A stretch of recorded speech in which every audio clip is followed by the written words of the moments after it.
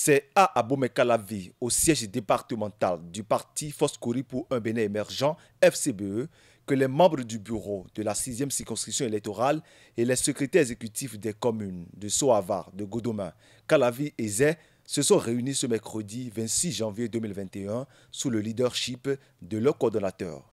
Cette rencontre déjà euh, a été l'opportunité pour moi et pour les membres de mon bureau de nous présenter les vœux et aussi de nous lancer euh, dans la perspective des prochaines échéances électorales. Donc il a été question des stratégies à mettre en place sur le terrain pour réussir les prochaines élections, en l'occurrence les élections législatives de 2023. Aussi les questions au niveau liées au cas de membres, aux cotisations, parce que vous savez, nous sommes un parti de l'opposition et notre ambition, c'est de conquérir le pouvoir d'État.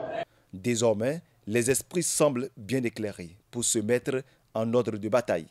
Euh, je serai dans ma commune, est pour pouvoir leur faire la restitution en ce qui concerne ce qu'il nous faut et ce qui nous attend, comment nous devons remobiliser notre base pour que les élections de 2023 soient vraiment une réalité pour le FCBE.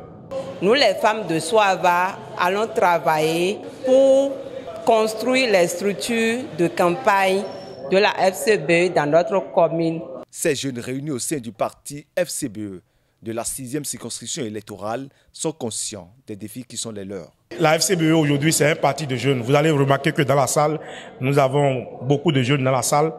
C'est un parti qui fait la promotion de la jeunesse.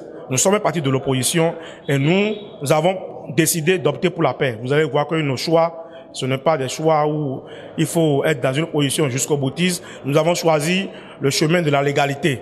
Nous avons dit que nous sommes une opposition, mais une opposition républicaine. Et voici, nous sommes à la veille des élections législatives et nous avons un Parlement qui n'en a pas notre pays, un Parlement monocolore. Et notre objectif, c'est tout faire pour que l'opposition, en l'occurrence le parti FCBE, puisse siéger au cours de la prochaine mandature, quand même pour rehausser l'image de notre démocratie. Voilà qui est bien dit. Les législatives de 2023 sont d'une importance capitale pour le parti FCBE qui n'a pas de député à l'Assemblée nationale actuellement. Prime News TV Bénin. Aimez, abonnez, activez la cloche de notification pour ne rien rater sur votre chaîne préférée.